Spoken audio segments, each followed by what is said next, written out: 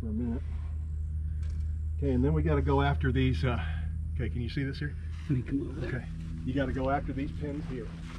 Uh, this one. Okay, right there, it's tight. But what happens is, I've got a, you know, see a little bolt that comes down from the top. And I'm going to suggest that you always put it down from the top, so just in case that nut comes off, that bolt still stays in. It comes out. There you go. Okay, there's your pin. There's put it right back in. And tighten that down enough. That could be tighter actually, or a little longer. All right, that's one. Usually we'll put these back on here. Yeah, it's like just my personal preference, but I always put all this stuff so when I need to go find it, it's all together where it needs to be. There, so that's one. And then we'll pull the other one off.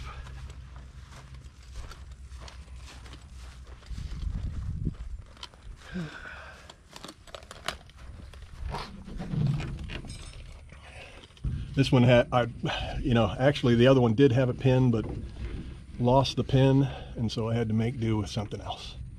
These are actually a little easier. Pin comes out. There. I don't think it matters which side you use. They should work, both the same. All right, so now our all of our braces are off.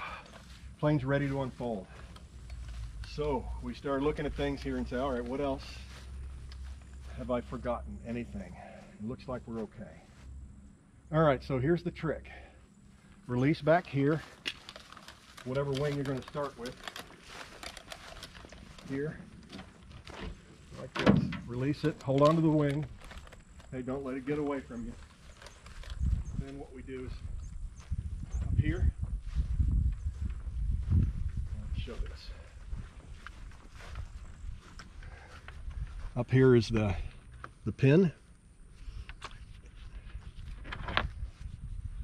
Okay, you pull it out, get it ready. Hold here. Okay, and then hold here. Okay, because what you're going to want to do is don't let that flap fall down. Keep it up until you get right about here and then let it down. So if you let it down too soon, Let me come over on it the other whacks. Well, you see it? You let it down too soon, it whacks this right here. So just hang on to it till you get past that edge. Then come up here. In the front, you may have to lift this just a hair. Okay, just to get it over there. And then the pin comes from the top and works its way down through. Now this is where these tools come in handy. A hammer, and this uh, this little green tool right here okay? And what I do is use that to hit the top of the top of the pin lock it down. You can tell how tight it is it's not going anywhere. Uh, if it ever does start to slop around in you on you like this and it's not fitting tight I'd start looking around and see what's wrong because it should fit snug. Okay so that wing is now done as far as folded forward. Let's stay on this wing and hook up the, here are the aileron push rods. You can see here, that comes out. Keep your hands on these because they will definitely drop down in the plane. You have to chase them, don't ask me how I know. Uh, comes back in here like this. This one is tight and actually you might need where is it? Oh. Okay the green tool again just to pry it open and get that in there. There.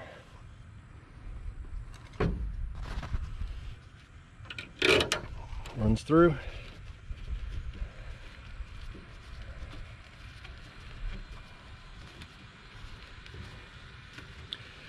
And that's locked down. And our pin let me see if I can see where that is.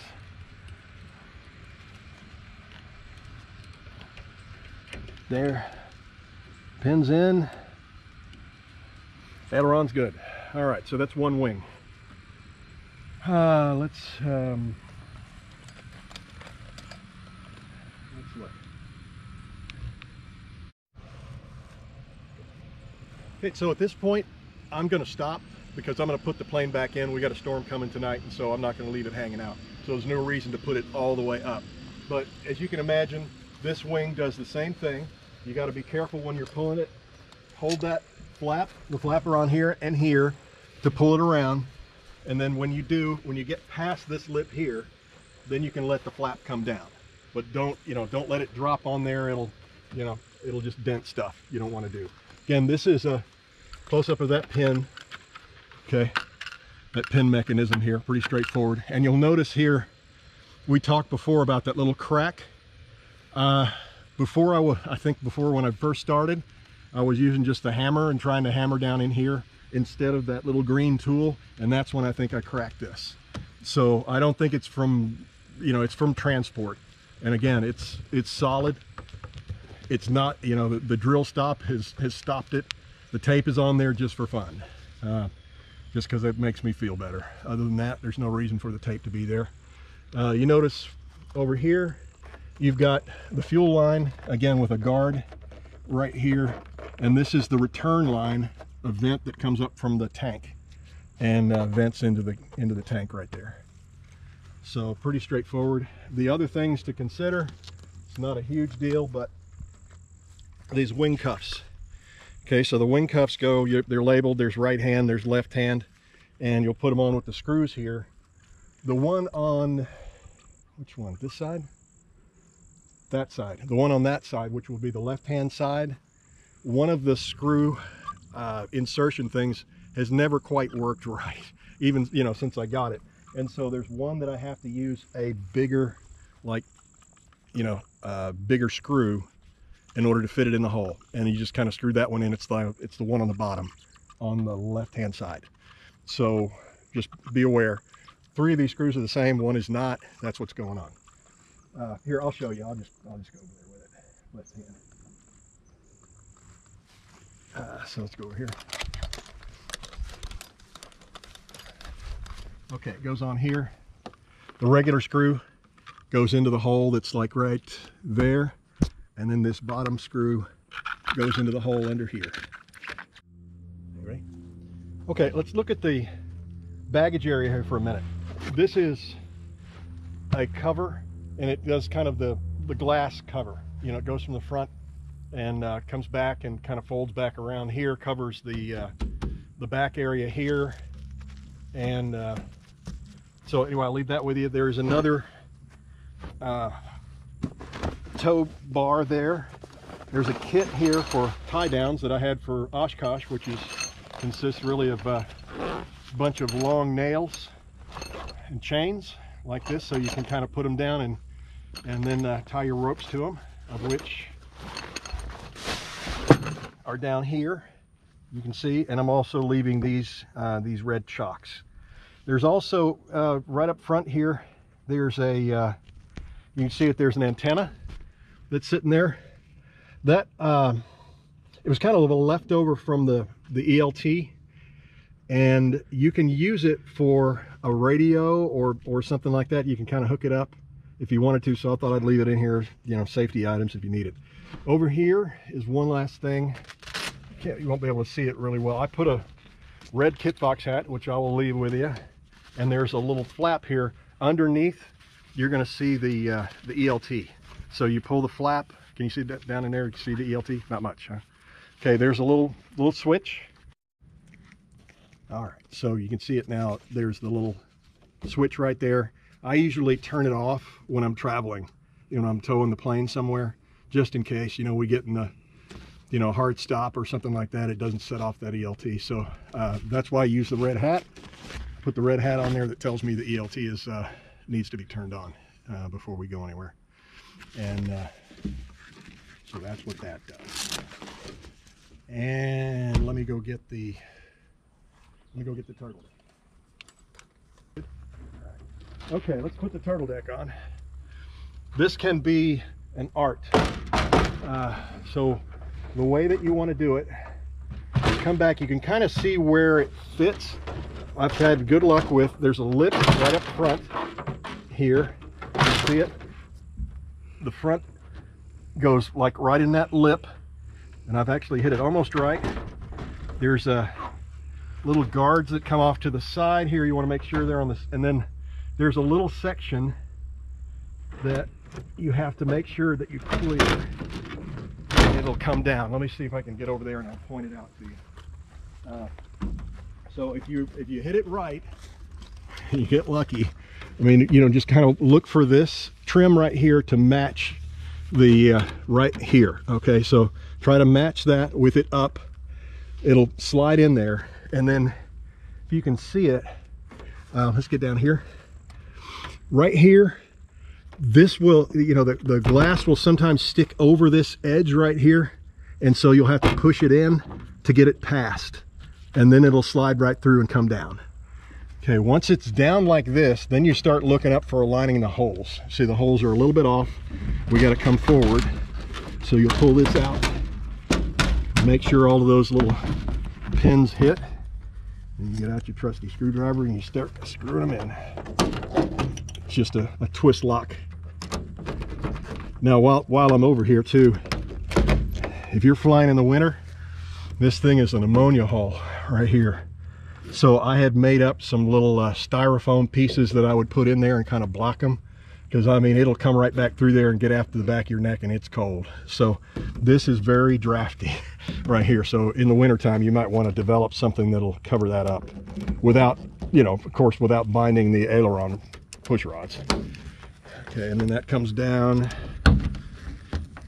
Uh, these things will always try to pop out on you so I always pound on it pretty good before I go flying and make sure they're not going to pop out come over here these, uh, you pull them out, they should run right back down there. Another one down. Another one down. And so on and so on. And now you're, you're pretty good. So what I usually do is I'll come in, I'll, I'll pound it pretty good trying to get them to pop out if they're going to do it. And you know, it's just pretty clear. I mean, you typically, you're not really looking out the back here. I've always thought about putting a, uh, like a mirror up there so you could see out the back, which would be kind of neat, but I never did it. Um, so you really don't look out of this all that much. You know, it could actually be enclosed and you might never miss it. Um, it is tinted, so it kind of helps keep some of the heat off the back. Okay, all right, starting in the pre-flight, one of the first things you're gonna do, come here, open up. Okay, there's your oil filler cap right there. Take that off. Just set it up here for the moment. All right, then you have to burp it. This is what this is a Rotax thing. Okay, so this plane has not flown in a month at least, um, and so at this point all the oil has drained down into the crankcase and all that. So what we're trying to do is move the oil from the crankcase into this little reservoir right here. In order to do that, we have to just wind the prop. So what you do is you come through when it hits a compression I usually back it up I was told by a technician to just just a little bit. Not You don't want to go backwards with these props very far at all, but just a little bit helps that oil start to move. And you'll see it kind of pop like this. But it may take 10 or 10 or 11 turns, but you'll hear the gurgle.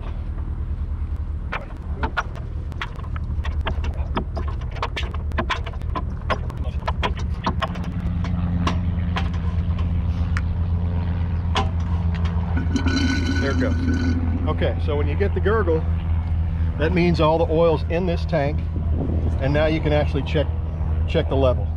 Okay, so you'll pull the little level out there and check it. It so far this plane uses almost no oil. I mean, it just it's almost exactly where it was when I filled it. So there is a little oil overflow. So if you do accidentally overflow this, you'll see some oil dripping out